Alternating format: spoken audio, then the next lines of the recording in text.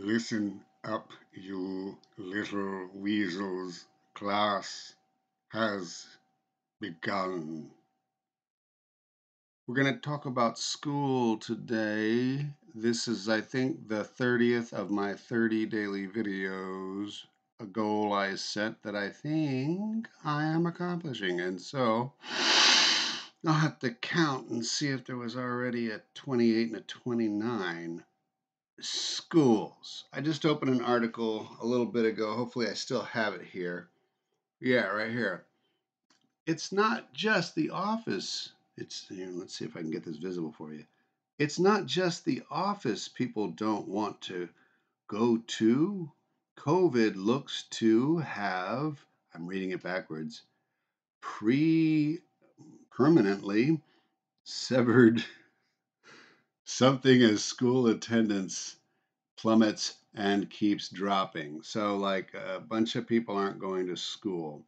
I'm guessing they're talking about secondary, middle, and primary school, right? And probably maybe even kids having trouble making it to preschool. A lot of them are drunk at that age. And I just want to say, I don't like that. And I don't like that.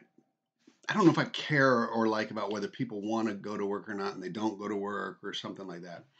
What I do care about is that I've been to private school, been been to when my, parents had to pay for me to go.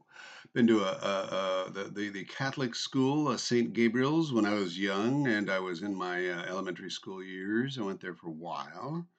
And I went to another Catholic school uh, when I got to Florida, right after I went to a public school there, because the Catholic school didn't have room for me because the fourth grade was filled.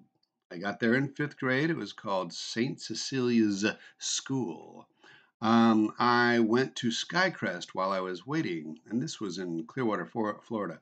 My name is Skeptical Spectrum of the Florida Spectrum family. And I um, then I went to Clearwater High School, mm-hmm, and then I went um, graduated. And then I did some other things and did college and all that stuff. Here's the thing: I didn't really like the schooling part of school, except for some marvelous teachers. Ms. Campbell, if you're still around and watching YouTube videos, you're probably not watching this because nobody is.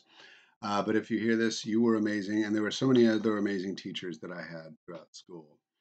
Um, but school generally sucked because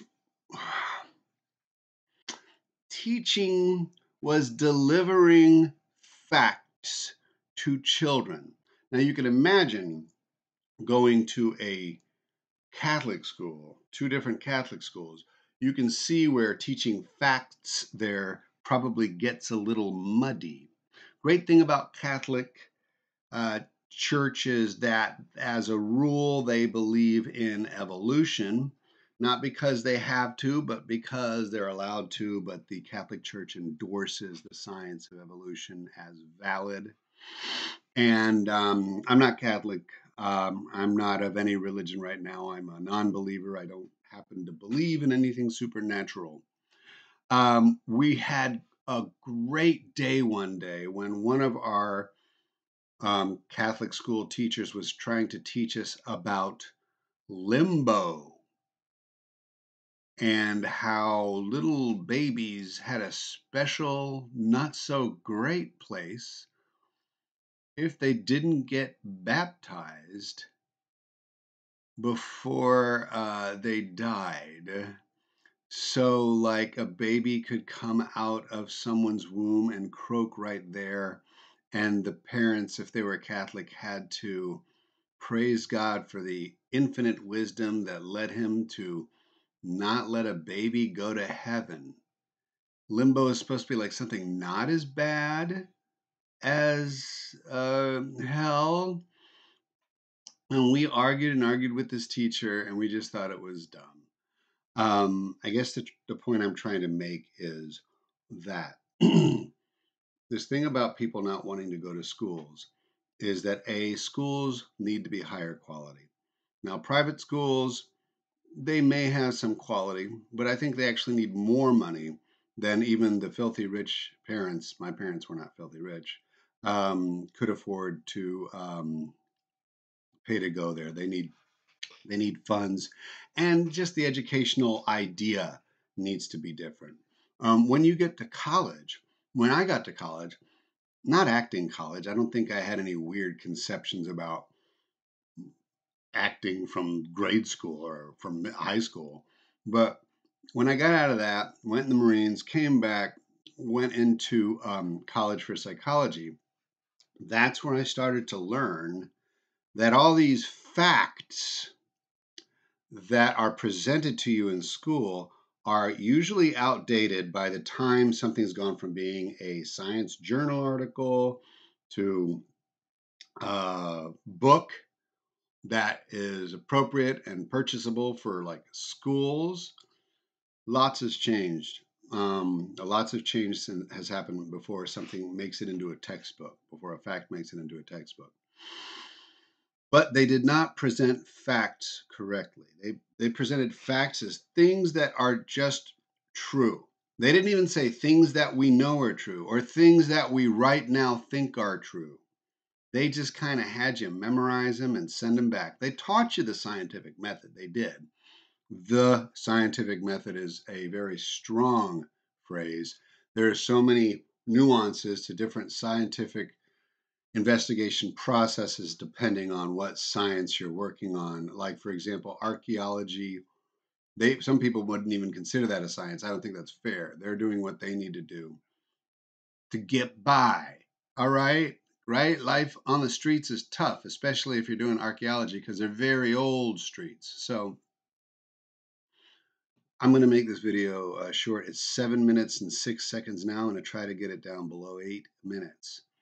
Um, don't teach children that the facts are the facts.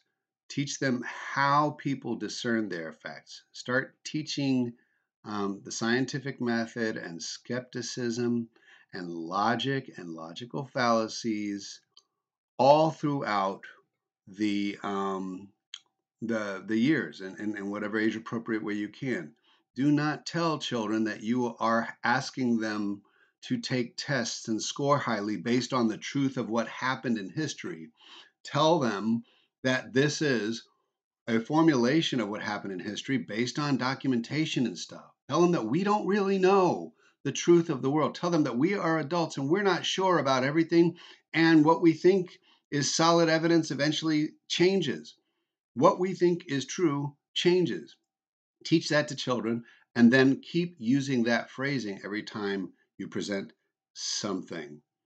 That was 30 videos in 30 days. Oh, and by the way, how you do all this stuff.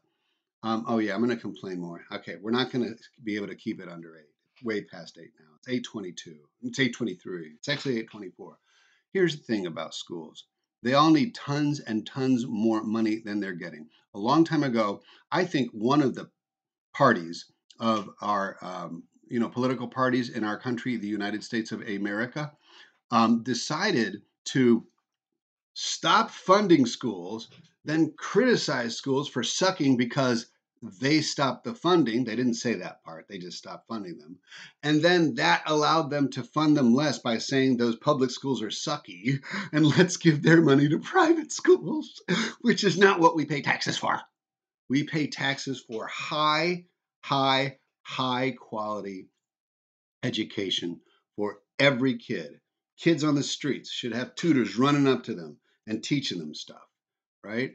we pay that much in taxes already. We don't have to tax more for that. We just need to stop giving it to people who already have but tons of money. And I just want to say,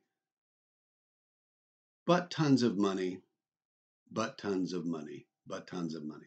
Okay, bye bye. I said bye bye.